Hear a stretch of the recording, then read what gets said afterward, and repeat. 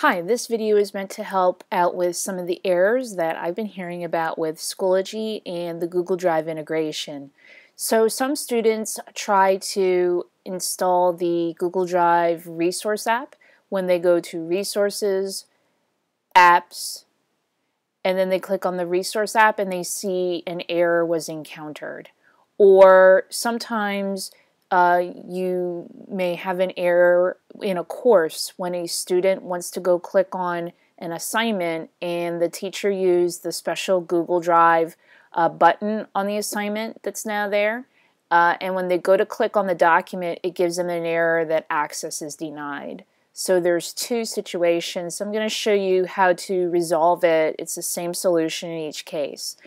So uh, if you notice in this browser, that up in the uh, Chrome, especially using Chromebooks, you're going to be using Chrome, and I encourage you to use Chrome with Schoology, um, that it is showing an alert that this page was prevented from um, sending a cookie, and that's the problem, um, that the third-party cookies are being blocked.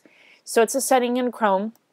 So on a Mac, you would go to Chrome Preferences uh, to get to it. On a Chromebook, in the upper right hand corner there should be three dots and you'd click on there to get to settings.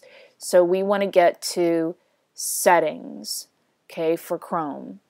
Uh, again on a Chromebook it's in the upper right hand corner the three dots you click on there and you go down to settings.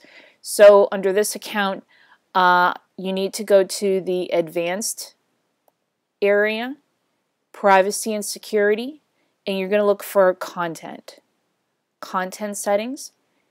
And then on that, there is a cookie option.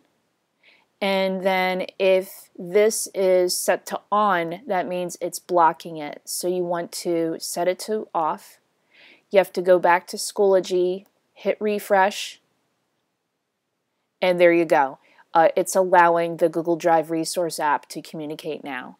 So again, um, go to the settings, uh, the advanced area, privacy, content, and then the cookie, the cookies, and then you need to make sure that it's not blocking the third-party cookies. Thanks so much.